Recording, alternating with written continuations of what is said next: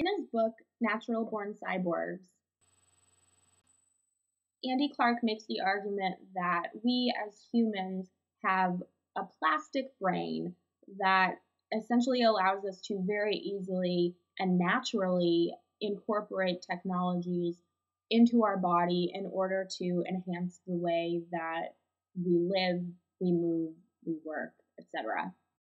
He gives a lot of examples of technologies that humans have already incorporated so fully within them that when using them, they don't even realize that they're referring to them. Things like watches or pencils or even a hammer, for instance.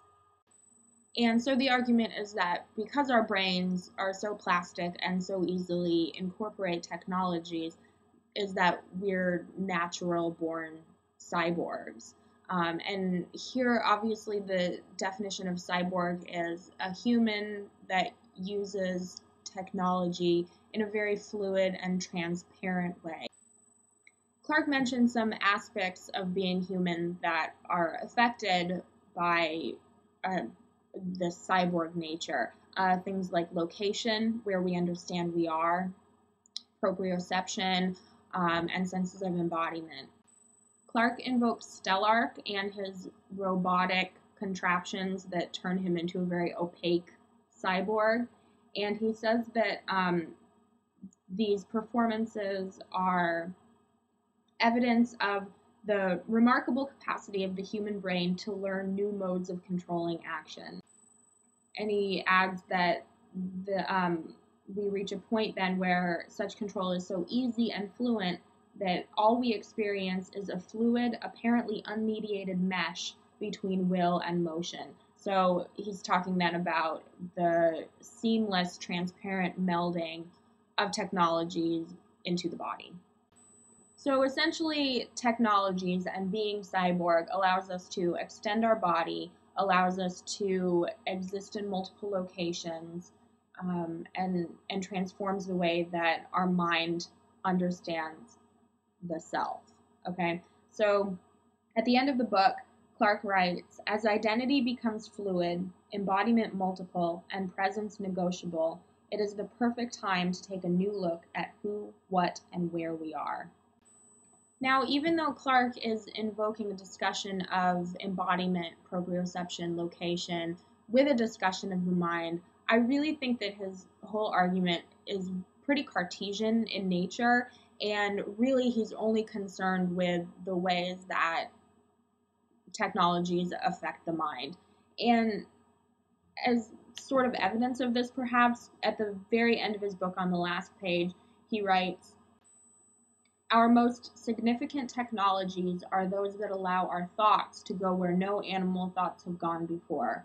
It is our shapeshifter minds, not our space roving bodies, that will most fully express our deep cyborg nature. He adds the very best of these technological resources are not so much used as incorporated into the user herself. They fall into place as aspects of the thinking process. And then he mentions that this transforms our sense of self, of location, of embodiment. But I think it's really obvious here at the end that he's really just concerned with the mind. So, as a result, I think one of the biggest issues with Clark's text is actually the title.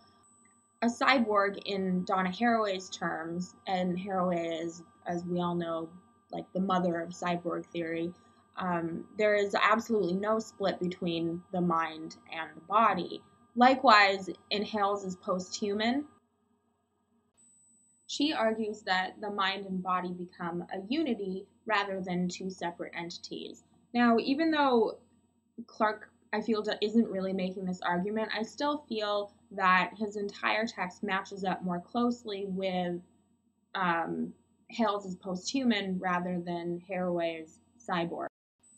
So, to read a piece of how we became posthuman that I feel matches up well with Clark's argument, Becoming a posthuman means much more than having prosthetic devices grafted onto one's body.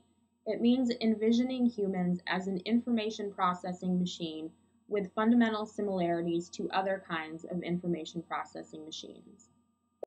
So I like the way that she can um, refers to the post-human as an information processing machine because that's what I feel Clark's argument is.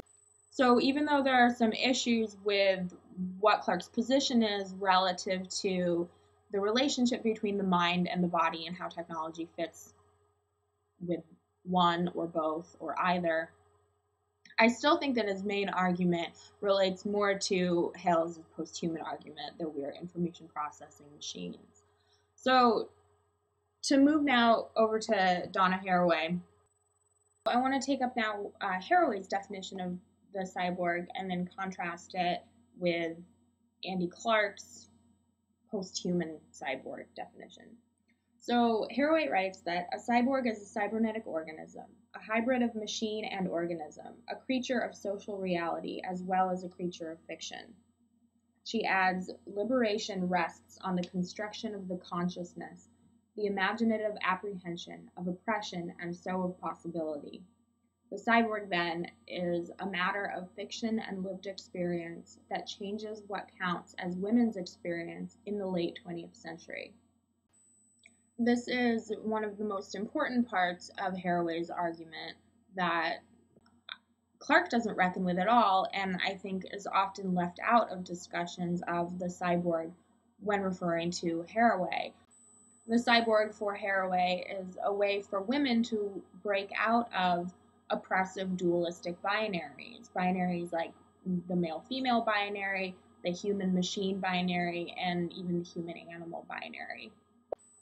So the cyborg is a way out of a patriarchal capitalist understanding of what it means to be human, what it means to be a body, and specifically what it means to be a female gendered body. In her section called Fractured Identities, she takes up this issue um, with the representation or, or understanding, cultural understanding of women and women's identities. Um, she writes, painful fragmentation among feminists, not to mention among women, along every possible fault line has made the concept of woman elusive, an excuse for the matrix of women's dominations of each other. Understanding women in this way, understanding them as um, reduced to their gender or their race or their class, uh, constructs a kind of postmodernist identity out of otherness and difference. This postmodernist identity is fully political whatever might be said about other possible postmodernisms. I really like this section because Haraway is talking about the ontological and epistemological issues with contemporary feminism in that it has a tendency to fragment women based on lines of experience, on lines of race, on class. And as a result, this sense of feminism either otherwise incorporates other sorts of experiences or marginalizes them to form the sense of coherent, totalizing notion of what feminism is. So the cyborg then is a way to reckon with political, patriarchal, hegemonic, capitalist culture. One of my favorite lines in this manifesto Haraway writes, the cyborg is a kind of disassembled and reassembled postmodern collective and personal self. This is the self feminists must code. I think that this is one of the most telling, most important two sentences in her whole manifesto. And the problem that we run into when we compare this idea to what Andy Clark is saying is that the similarities between Clark cyborg and Haraway Cyborg ends at the technology human. Clark's argument is that we are cyborgs, that we always have been cyborgs, that we were that we're naturally born cyborgs, right? Um, in that our plastic brains allow us to incorporate fully technologies into our bodies to expand our sense of of knowing, of proprioception, etc. And Haraway's cyborg is explicitly a way to reckon with oppressive cultural hegemonic binaries. There's not much of a comparison there, really, at all. And so, in Clark's book, he takes up a lot of the common discussions of the relationship between technology and humans and how they come together.